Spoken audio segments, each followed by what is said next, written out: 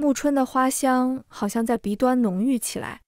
他怔怔看着那张风华无双的脸孔，心里像打翻了调料瓶，一时之间说不上是什么滋味。他的五官比之前更硬朗了一些，眼里像藏着一片夜空，又黑又深邃，除了些许笑意，再看不出半分其他情绪。那些围绕着他的可怕传言，让他不由得将眼前的人和记忆中那个温柔少年分离开来。林飞鹿握着那盏冰凉的面具，下意识咽了下口水。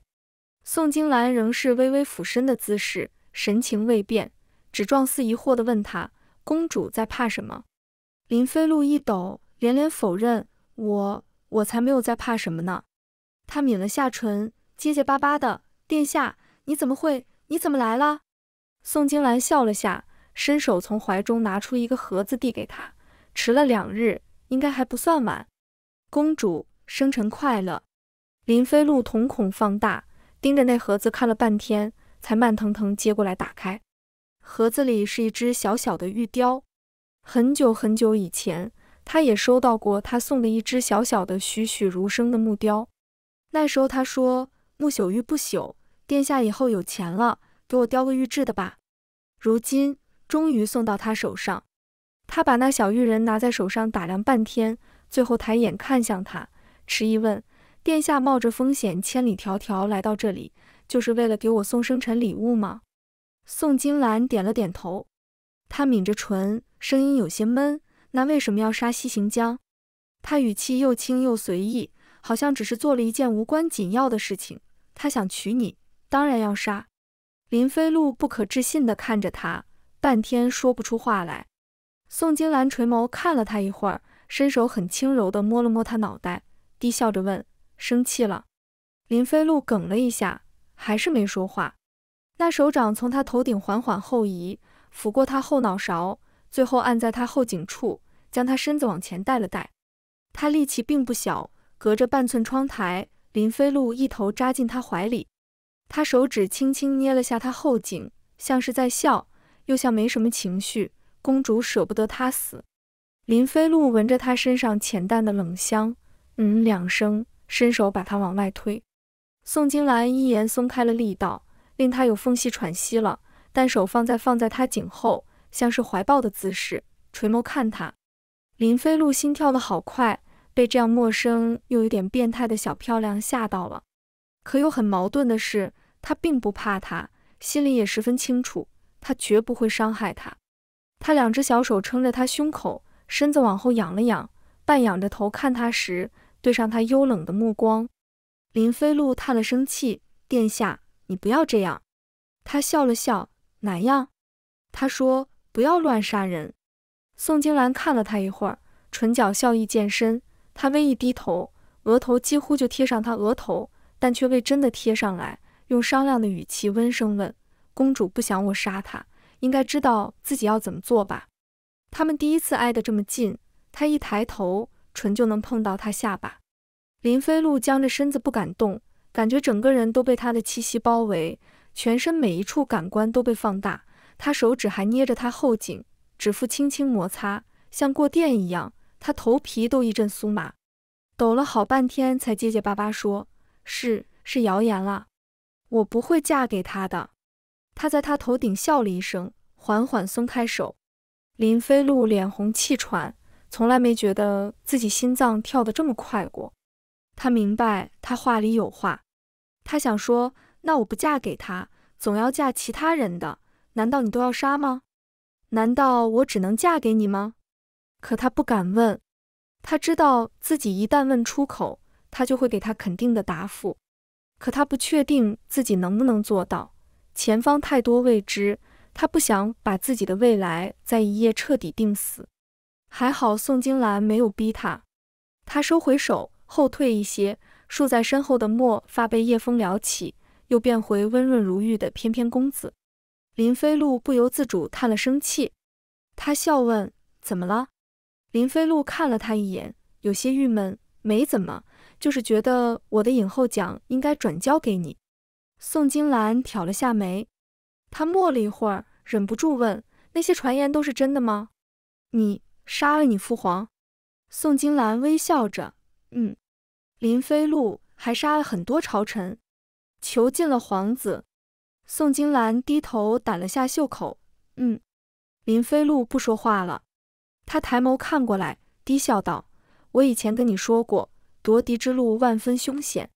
我不杀他们，他们就会杀我。公主希望我死吗？”他摇摇头。宋金兰笑起来，伸手捏了捏他娇软的耳垂。林飞鹿身子一抖，侧头想避开，他手指已托住他脸颊，大拇指指腹从他眼睑下缓缓划过，俯身到他耳边，温声说。公主，别害怕我，不然我会很难过。林飞鹿绷着身子，从鼻尖轻轻应出一声“嗯”。他心满意足地放开手，回头看了眼身后天色，笑盈盈道：“夜深了，去睡觉吧。”林飞鹿有些紧张：“那你呢？”他说：“我该走了。”这样短暂的一次见面，不知道是他布置了多久才抽出来的时间。林飞鹿眼里突然就涌上来一抹酸涩。那种舍不得的情绪让他有些慌乱，他不喜欢这种自己无法掌控的情绪，于是赶紧后退两步，跟他挥手，一路顺风。宋金兰眸色几经变幻，最后只是笑着点了下头。好，公主也要保重。她转身离开，走了两步，又回过身来。林飞鹿本来还眼巴巴看着她背影，见她回头，立刻啪的一声关上窗。窗外。宋金兰无声笑了下，不知道过去多久，那扇紧闭的窗户才在夜色中再次缓缓打开。除了夜风与花香，已经不留什么了。林飞鹿按下心中怅然，这才彻底关上窗，爬回床上去睡觉。直到他躺回床上，呼吸渐渐平稳下来，隐在墙垣树之后的那抹身影才终于离开。翌日。将军府和十六卫就开始搜查昨晚酒房行凶的刺客，自然是一无所获。好在西行江只是皮肉伤，养了一段时间便痊愈了。刺客毫无线索，他也要继续执行军务。随着时间过去，此事也就只能搁置翻篇。林飞路沉闷了一段时间，又迅速调整好自己的心态，开始开开心心享受自己在宫外的独居生活。入夏之后。京中最备受关注的一件事，就是四皇子景王殿下和左都御史嫡女穆庭云的婚事了。林景渊努力了那么久，各种办法都想尽了，最后还是没能退掉这门亲事。成婚的前一天，他在林飞鹿府里一边喝酒一边声泪俱下，等成亲之后，我就要那一百个妾，气死他！林飞鹿，他用扇子拍了一下，醉醺醺的林景渊就倒下去了。翌日，宿醉一夜、头痛欲裂的林景渊穿上新郎官的喜服，木着一张脸成亲。拜堂的时候，林飞鹿在旁边看着。凤冠霞帔的新娘子身段娇小，站在林景渊身边时，只到他胸口的位置。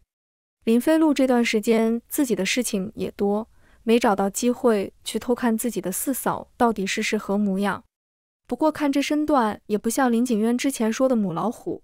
皇室中人很多身不由己，他虽然遗憾林景渊的包办婚姻，也只能祈求日后两人能和睦相处了。皇子的婚礼虽比不上太子，但排场也足够大。景王府一直闹到晚上，才终于安静下来。永安公主府距离景王府最近，林飞鹿也就一直留在这里，等宾客散尽。喝得醉醺醺的林景渊抱着院中的石柱子不肯下来，说要晾新娘子一夜。林飞鹿真是又气又好笑，把人从石柱子上扒下来后，知道他吃软不吃硬，只能哄道：“景渊哥哥，你听不听小鹿的话？”林景渊哼了一声，别过头去。林飞鹿问：“若是我嫁了夫君，夫君却在新婚之夜弃我不见，景渊哥哥会生气吗？”林景渊当即怒吼：“我杀了他！”林飞鹿拉着他袖口，苦口婆心：“你既如此，那嫂嫂的家人听闻此事。”也该是生气又难过的。你就算再不喜，可如今婚都成了，又何故让嫂嫂难堪？你的婚事做不得主，他难道就做得了主吗？他跟你一样，不过都是天涯沦落人罢了。林景渊被他唬得一愣一愣的。林飞鹿一边牵着他往新房走，一边道：“你就算不喜欢他，也不该在新婚之夜冷落他，叫京中人看了笑话。”他如今已是景王妃，别人笑话他，不就是笑话你吗？就这么说着话的空档，人已经走到庭院门前了。林飞鹿松开手，冲他比了个打气的小拳头：“景渊哥哥加油，去吧。”然后林景渊就稀里糊涂地走进去了。他闹了这么久，房中的婆子丫鬟早就退下了，只剩新娘子拘谨地坐在床边。房中燃着一对高高的喜烛，喜盘里摆着一杆喜秤，旁边还有斟满的合卺酒。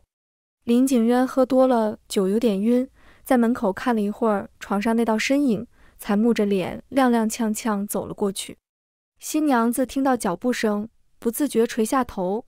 踮着脚尖往后缩了缩，林景渊走到她身边，没拿喜秤，直接一伸手把盖头给撩开了。